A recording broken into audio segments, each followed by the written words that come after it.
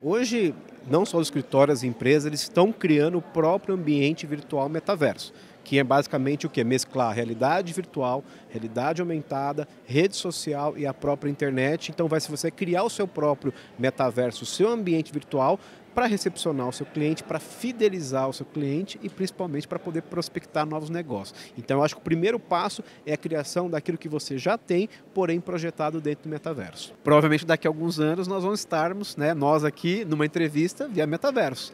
E eu não tenho dúvida que essa evolução natural da internet, com o metaverso, com essas empresas todas aí se, investindo justamente nesse, nesse novo futuro, principalmente a própria meta, vai tornar isso uma realidade, no máximo, esperamos, daqui a cinco anos.